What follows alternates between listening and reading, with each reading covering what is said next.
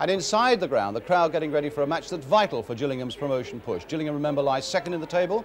Exeter are 13th.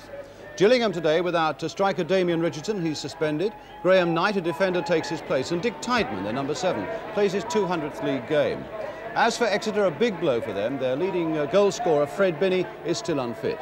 But one of the major issues there at Priestfield Stadium on the day will be can the Exeter City defence hold Brian Yeo, Gillingham's ace striker, top scorer in the whole of the league, with 26 league and cup goals. Couldn't have a better referee, Gordon Hill of Leicester, and now everybody waits for the start. Tydeman again with a corner. And Galvin is there, and it's there!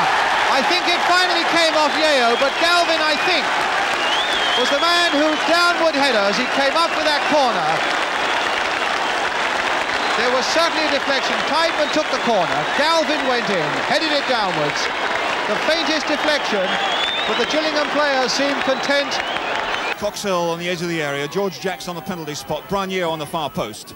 Jacks. Oh, yes! Jacks header. Did Yeo get a touch?